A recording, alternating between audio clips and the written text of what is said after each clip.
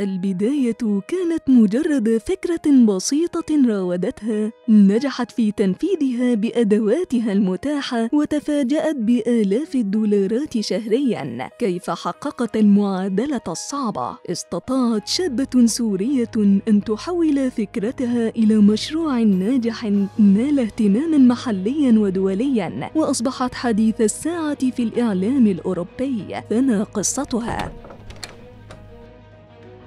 يسطر السوريون في دول اللجوء الإنجازات يوما تلو الآخر ويصنعون قصص النجاح رغم الظروف الصعبة التي مروا بها خلال السنوات الأخيرة. نماذج متفردة أثبتت للعالم قدرتهم على الإبداع وأن الشغف لديهم ليس له حدود. رغم المواجهات والهجرة وما رافقها من ضيق الحال والتفكير بالمستقبل المجهول. قصة نجاح اليوم كانت من نصيب سيدة سورية تمكنت من تحويل فكرة بسيطة إلى مشروع ناجح يدر عليها آلاف الدولارات شهرياً لتصبح حديث الصحافة ووسائل الإعلام في بريطانيا. إنها رزان الصوص برعت في صناعة نوع من الجبن بطريقتها الخاصة جعلتها تتحول إلى سيدة مجتمع في بريطانيا خلال فترة قصيرة من بداية مشروعها. حقا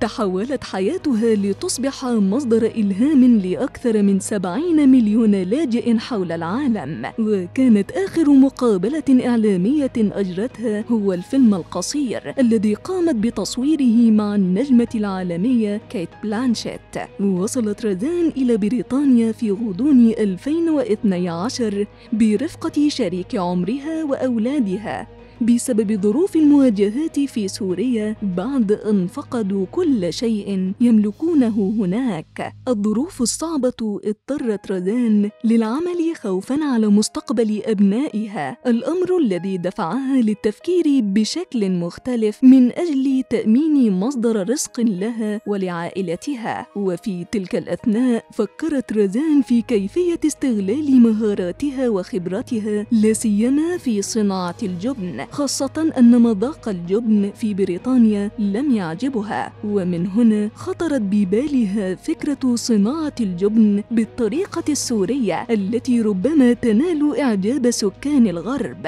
وكانت المفاجأة أن الصناعة حظيت بإعجاب البريطانيين لتبدأ بعد ذلك بتطوير عملها وعدم اقتصاره على التصنيع في المنزل. حصلت على مبلغ 2500 جنيه استرليني من وكالة المشاريع المحلية وبدأت مشروعها الجديد في عام 2014 وبعد أربعة أشهر من انطلاقه فازت بجائزة برونزية بعد مشاركتها في أحد المسابقات المخصصة لعرض الجبن على مستوى العالم. تقول رزان إن دراستها للصيدلة جعلتها تتوصل إلى التركيبة الصحيحة لصناعة الجبن وذلك بعد فهم الطبيعة الكيميائية لجبن الحلوم.